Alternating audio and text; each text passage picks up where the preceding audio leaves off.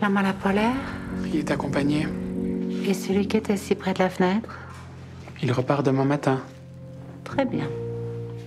Je vous remercie.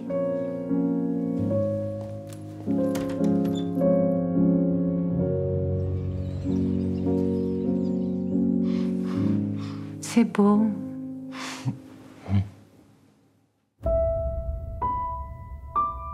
Je vous demanderai que vous me racontiez tout de votre métier, de votre vie, cette autre vie.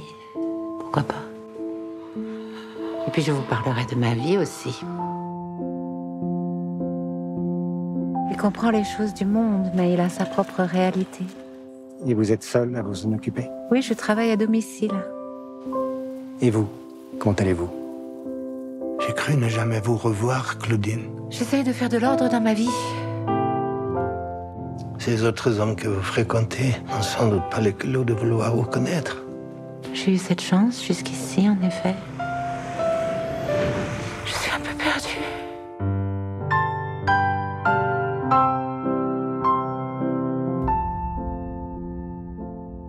Là, juste de l'autre côté, il y a 400 millions de mètres cubes d'eau prêts à nous submerger.